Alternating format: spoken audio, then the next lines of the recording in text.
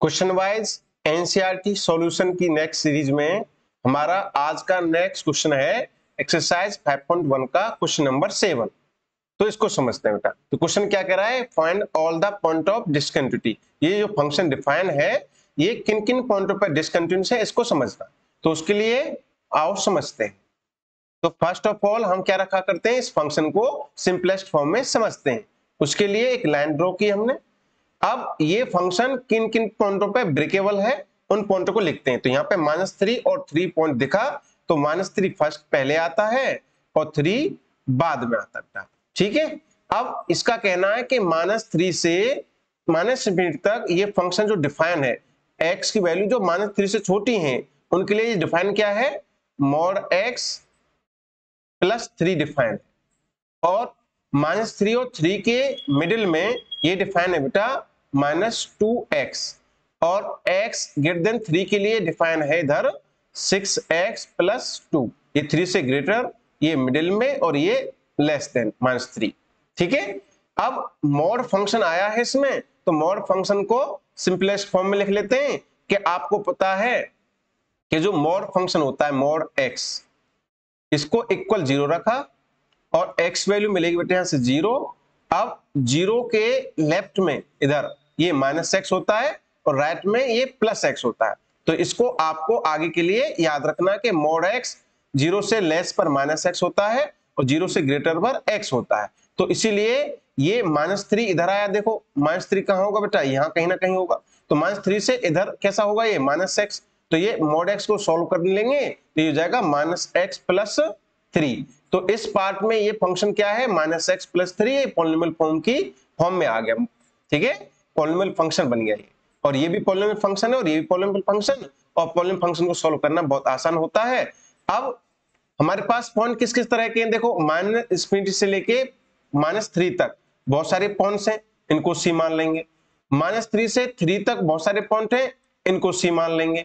और थ्री से लेके प्लस इंफिनिटी तक बहुत सारे पॉइंट हैं, इनको सी मान लेंगे बेटा। ठीक है? ये फ़ंक्शन हमारा डिफाइन हो गया। अब कंटिन्यूटी कहाँ से करेंगे? इन बहुत सारे पॉइंटों पर जो माइनस इंफिनिटी से लेके माइनस थ्री के बीच में है। और नेक्स्ट हमारा थ्री से माइनस थ्री से थ्री और थ्री से प्लस इंफिनिटी तो थ्री टाइप के पॉइंट तो ये है। और एक माइनस थ्री और थ्री पर। तो हमारा कितने केस बने बेटा? One two three four five five case में इसकी पॉइंट ऑफ़ डिस्कटिव चेक किए जाएँगे। ठीक है? तो केस फ़र्स्ट स्टार्ट करते हैं। तो केस फ़र्स्ट हमारा क्या है? कि ये वाला। तो यहाँ लिखेंगे लेट एक्स इक्वल सी ठीक है? ये सी कैसा बेटा? लेस देन माइनस थ्री और इसके लिए जो फ़ंक्शन वैल्यू है एफ़ एक्स क्या डिफाइन है इधर?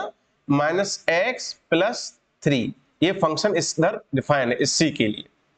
तो अब ये अकेला फ़ंक्शन है तो अकेले फ़ंक्शन के लिए आपको बताया है कि फ़र्स्ट पार्ट होता है सर लिमिट निकालना। तो लिमिट निकालेंगे। Limit x tends to C F X equal limit x tends to C इस फ़ंक्शन की वैल्यू रख देंगे तो minus X plus three function value है और पॉलिमल फ़ंक्शन होने के कारण x की वैल्यू रख देंगे लिमिट वैल्यू निकालने के लिए। तो ये लिमिट वैल्यू आ जाएगी हमारी माइनस सी प्लस थ्री और सेकंड पार्ट होता है सर इसका फ़ंक्शन वैल्यू निकालना। तो एफ़ सी वैल्यू निकाल लेंगे। तो एफ़ सी वैल्यू क्या होगी? Minus C plus three. तो ये फ़ंक्शन वैल्यू और लिमिट वैल्यू सेम आए तो यहाँ पे लिख देंगे limit X tends to C F X equal F C ठीक है? ये इंप्लाइज कर देगा तो इस पर ये कंटिन्यूस हो गया। एफ़ एक्स इज़ कंटिन्यूस ठीक है? एफ़ एक्स इज़ कंटिन्यूस ठीक है? तो कंटिन्यूस कहा निकला बेटा? X equal C X equal C कैसी सी जो हमारी बिलोंग करती हैं, माइनस इन्फिनिट से लेके माइनस थ्री का ठीक है? ये कंटिन्यूस हुआ। अब नेक्स्ट पॉइंट है माइनस थ्री सोल्व करना।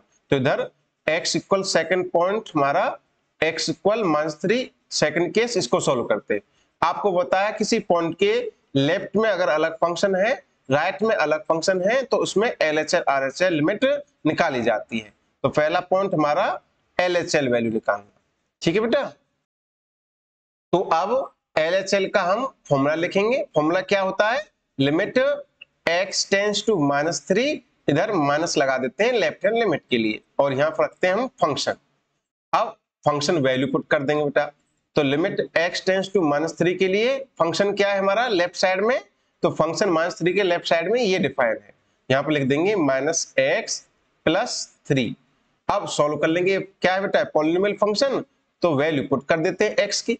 तो माइनस पहले से लगा है, एक माइनस थ्री पुट करेंगे तो ये क्या हो जाएगा? प्लस थ्री और प्लस थ्री बाद में दे रखा है तो ये आंसर आ जाएगा six second part second part में क्या निकालेंगे सर हम? आर एच एल तो आर एच एल का फॉर्मूला लिखेंगे फॉर्मूला क्या होगा? Limit X tends to minus three plus F X और फ़ंक्शन वैल्यू पुट कर देंगे बेटा आप। Limit X tends to minus three plus का मीन राइट साइड का फ़ंक्शन वैल्यू तो क्या है ये? माइनस टू एक्स ठीक है? अब सॉल्व कर लेंगे तो क्या आएगा? Minus two multiply minus three answer आ जाएगा सिक्स और थर्ड पार्ट होता है इसमें function value F minus three निकालना। तो माइनस थ्री कहाँ पे सॉल्व करेंगे सर तो जहाँ पर इक्वल दे रखा है, उसमें ये वैल्यू पुट कर दी जाती है।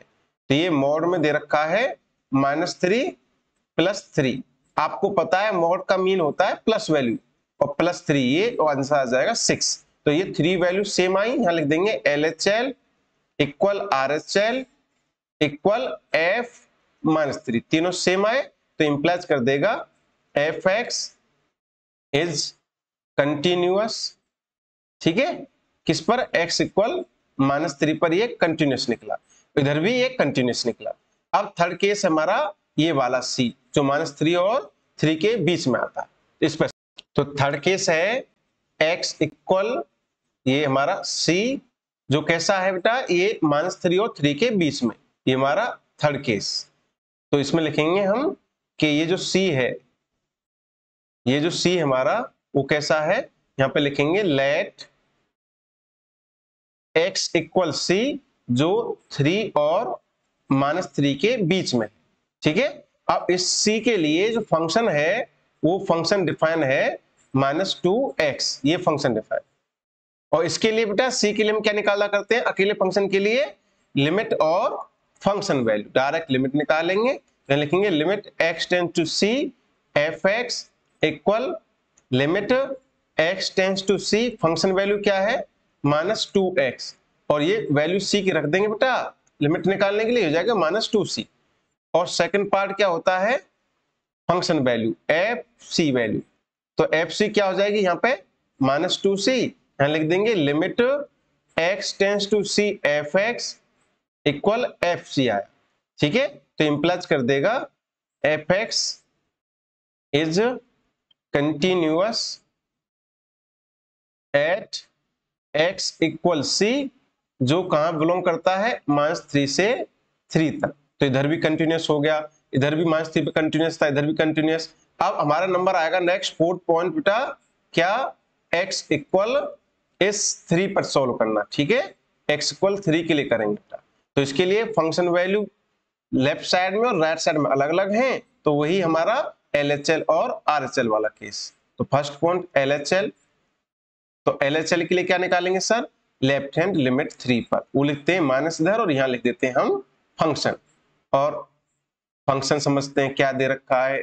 थ्री के लेफ़्ट में क्या है? माइनस टू एक्स तो यहाँ लिख देंगे माइनस के टू एक्स और सॉल्व करेंगे माइनस टू मल्टीप्लाई थ्री तो ये आंसर आ जाएगा माइनस का six second point sir second point निकालते हैं हम आर एच एल तो आर एच एल के लिए लिमिट वैल्यू लिमिट वैल्यू क्या है? Limit X tends to three plus F X और यहाँ पर फ़ंक्शन वैल्यू रख देंगे सर तो limit three X tends to three और थ्री के राइट में है सिक्स एक्स प्लस टू और सिंप्लीफाई करेंगे तो यहाँ से सोल्व होकर मिलेगा six multiply three plus two और ये कितना हो जाएगा बेटा?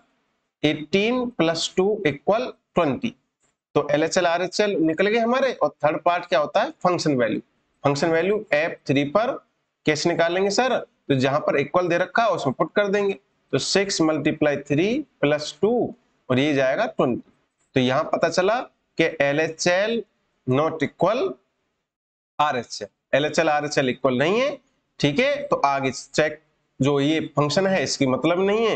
यहीं से हो जाता है कि F X is not continuous तो इस केस में कंटिन्यूस ये नहीं है। एक्सक्वल थ्री पर कंटिन्यूस नहीं है। तो एक पॉइंट तो ये मिल गया। अब ये सी रह गया लास्ट वाला। ठीक है बेटा? तो इसको समझ हमारा फिफ्थ केस रह गया। X equal C greater than three ठीक है? और इसके लिए थ्री के लिए जो एक्स सी इस तरह का जो थ्री से ग्रेटर है, उसके लिए जो फ़ंक्शन है, उसको लिखा करते हैं यहाँ पे। फ़ंक्शन है सिक्स एक्स प्लस टू तो अकेला फ़ंक्शन है तो सर आपने बता रखा है कई बार तो direct limit value limit X tends to three F X equal C पर निकालना बेटा है ना थ्री नहीं सी तो limit X tends to C F X और एफ़ एक्स वैल्यू पुट कर देंगे sir. Limit X tends C F X value इधर है सिक्स एक्स प्लस टू और ये सी वैल्यू रख देंगे, ये हो जाएगा सिक्स सी प्लस टू ये फ़ंक्शन वैल्यू लिमिट वैल्यू आ गई सर. और आगे हमारा second point function value F C तो इसमें सी पुट कर देंगे सिक्स सी प्लस टू आ जाएगा सी तो ये तो इजी समझ में आ गया तो है ना? अब तो समझ में आ गया बिल्कुल। इस तरह क्वेश्चन कैसे सोल्व करने हैं? तो ये दोनों इक्वल आ गए limit value limit X tends to C F X equal F C limit value implies कर देगा एफ़ एक्स इज़ कंटिन्यूस ठीक है? तो इस केस में कंटिन्यूस हुआ और थ्री पर डिसकंटिन्यूस आया, है ना? कंटिन्यूस नहीं है। तो ऑल पॉइंट ऑफ़ डिसकंटिन्यू क्या हो गए? तो यहाँ पे लिख देंगे। नेक्स्ट आगे डिसकंटिन्यूस पॉइंट डिसकंटिन्यूटी पॉइंट लिख दो। डिस कंटिन्यूटी पॉइंट क्या आया? X इक्वल थ्री ठीक है बेटा? ये x equal three discontinuous point आया। बाकी सब किस तरह के पॉइंट है? कंटिन्यूस ठीक है? तो इस तरह की वीडियो के लिए हमारे चैनल सीसीए जट्टारी को लाइक शेयर और सब्सक्राइब करें।